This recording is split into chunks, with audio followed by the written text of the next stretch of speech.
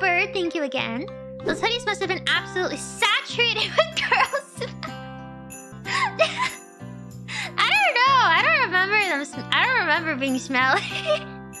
I remember when I wore it too. I was so scared of like smelling bad. I'd wear so much deodorant. Like I'd wash my armpits every morning before school because I didn't started making me scared. What was? I was like in fifth grade playing with some friends. We were doing like limbo, but using like our arms as limbo. And one of my friends, I noticed that her armpit smelled.